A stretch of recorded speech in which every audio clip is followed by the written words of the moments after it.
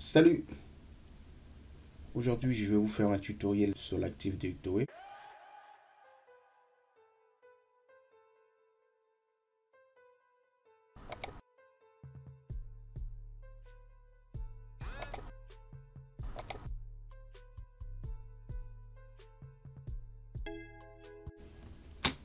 Maintenant, l'objectif principal d'Active Directory est de fournir des services centralisés euh, d'identification et d'authentification à un réseau d'ordinateurs utilisant le système d'exploitation Windows, Mac OS et encore euh, Linux.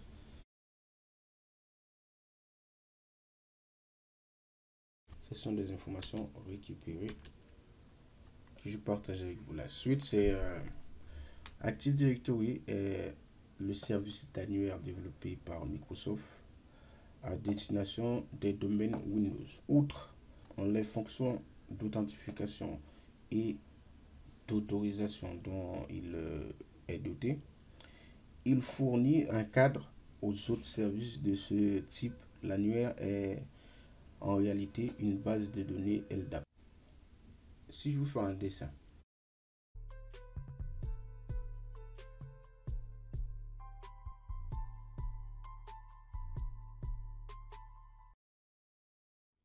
vous avez un serveur. Le serveur, vous pouvez le placer euh, là où vous voulez. Avec l'OS euh, serveur là-dessus. Nous, dans notre cas, on va utiliser Windows. Sachez que là, nous allons faire ça sur un Windows Server 2019. On va mettre ici euh, Windows Server. On va venir installer Active Directory. Hop. Hop, vous avez euh, le serveur qui est presque fini. Puis là, on va venir dire aussi que l'Active Directory sur le serveur. On laisse ça comme ça. Et on prend quelque chose de genre comme ça. OK. C'est-à-dire que Windows Server avec euh, le rôle Active Directory. Donc, qui va centraliser les données en fait.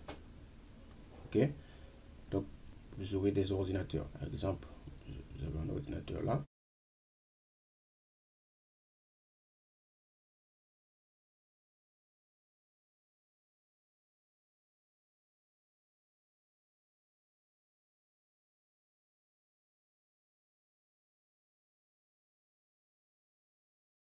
Plusieurs ordinateurs d'ailleurs. Ce qu'on va faire, on va pas s'amuser à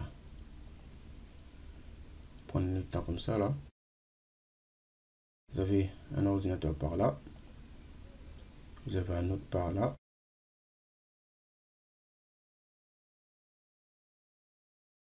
Et vous pouvez en avoir un autre par là. Vous avez vos ordinateurs que sont dans votre... Et on peut même rajouter d'autres ordinateurs dans l'architecture. Ça dépend de, votre architecture. Pour en avoir plusieurs. Tous les ordinateurs sont liés à l'Active Directory.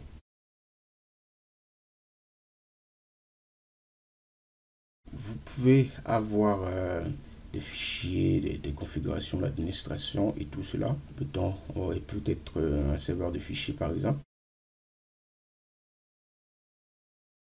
Tout comme un serveur de déploiement. Hop, hop. Une fois que les ordinateurs sont intégrés dans le domaine que nous mettrons en place tout à l'heure, vous verrez que vous comprendrez le rôle de l'Active Directory. Le service d'authentification, c'est-à-dire que vous aurez par exemple une affaire de plusieurs euh, utilisateurs. Le serveur va venir centraliser toutes les, données du, du réseau. Il soit comme ça,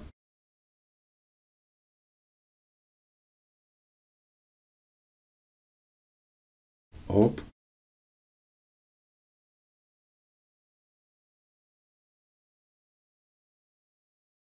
Vous aurez des fichiers aussi qui circuleront dans ce sens-là aussi hein, pour aller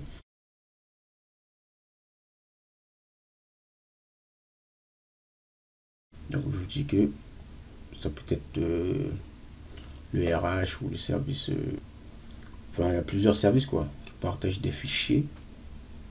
Et aussi, bon, l'administrateur peut venir euh, d'une part donner les autorisations et mettre à disposition des fichiers à chaque service quoi.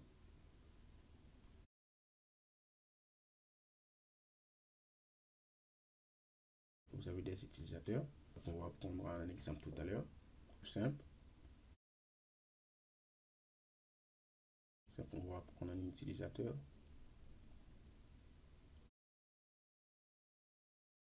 Voilà, Windows Server. Tac. Et vous avez, par exemple, un individu tel que, je sais pas, ou, un tech par exemple. Quelqu'un qui travaille dans informatique avec vous dans le domaine. C'est-à-dire que cette, une fois qu'on aura créé euh, cet utilisateur, cet utilisateur pourra s'identifier sur tous les ordinateurs que vous voyez là, y compris euh, s'il a l'autorisation d'aller sur le serveur, il ira. C'est là. Vous prenez par exemple, lui, ça va être euh, le Tech 1.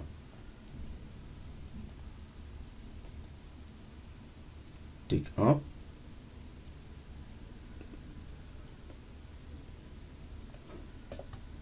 Si on dit que lui c'est Tech 1.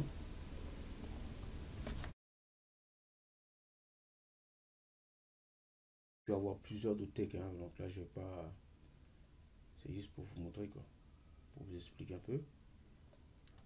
Lui, il peut venir s'identifier avec sa session et partager des fichiers et ou récupérer des fichiers sur tous les ordinateurs avec son compte une fois qu'on aura créé, enfin une fois que les machines sont dans le domaine et que cet utilisateur est euh, créé dans le domaine Active Directory.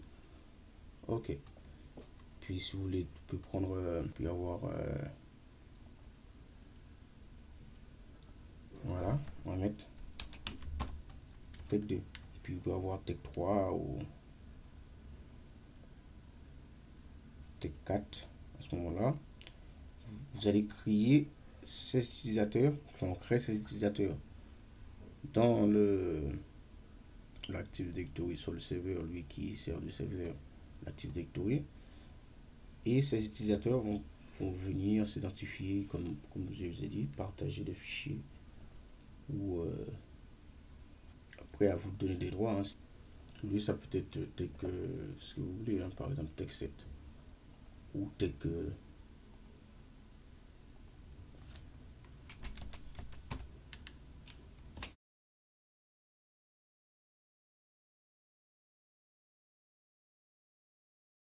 Nous allons passer à la pratique après la théorie. Puis on peut avoir un autre tech par exemple, hein, qui lui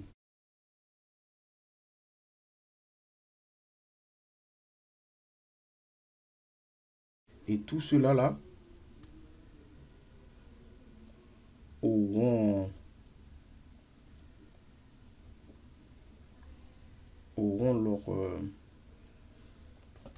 leur compte, leurs fichiers, ce qu'ils peuvent voir, ce qu'ils peuvent pas voir, ce qu'ils peuvent faire, ce qui voilà sur le serveur. Et lui, tout dépend de, de la grandeur de votre entreprise. Donc là, je pense que moi, je ne vais pas vous mettre trop de mecs parce qu'il n'y a pas assez de place sur le, dessin là. Vous voudrez juste une deux femmes parce que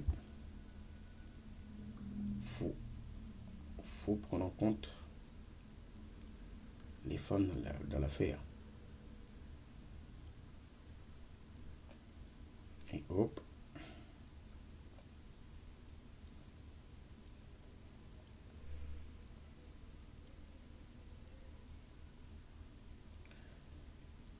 Et, et notre tech encore pour moi.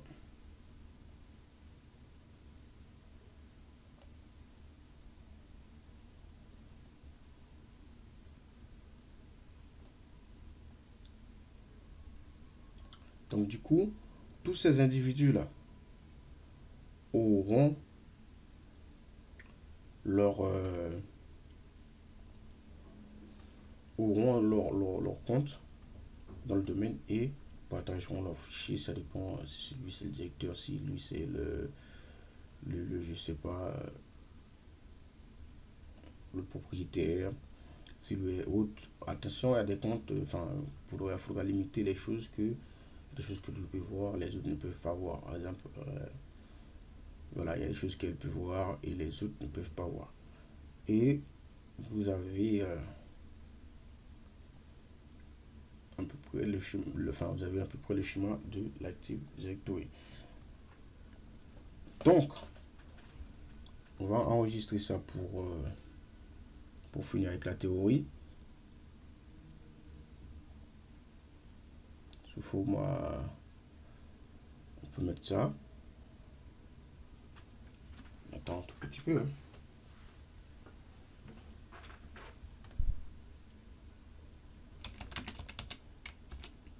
Et nous allons passer à la pratique pour euh, sur le serveur. On va installer l'Active Directory. Et bien sûr, créer les utilisateurs, enfin, administrer le, le serveur. Et puis avoir plusieurs serveurs en même temps. 这血流